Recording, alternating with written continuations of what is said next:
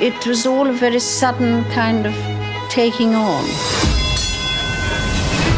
It's a question of maturing into something that one's got used to doing.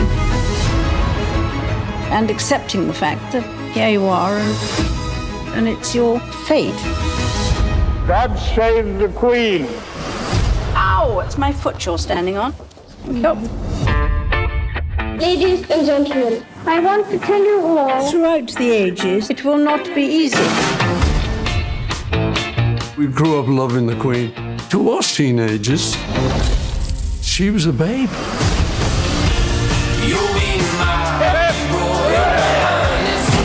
Get off!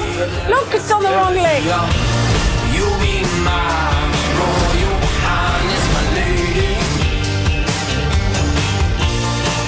Weigh the tongue. You can't look down because if you did, your neck would break. Why do we have a queen? So she can look after country.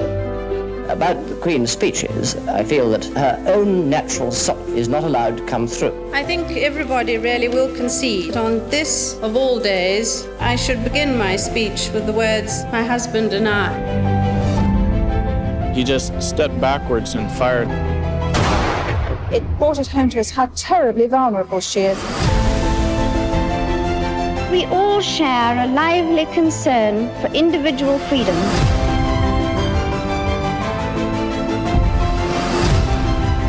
No institution should expect to be free from scrutiny. The largest air raid the world has ever known.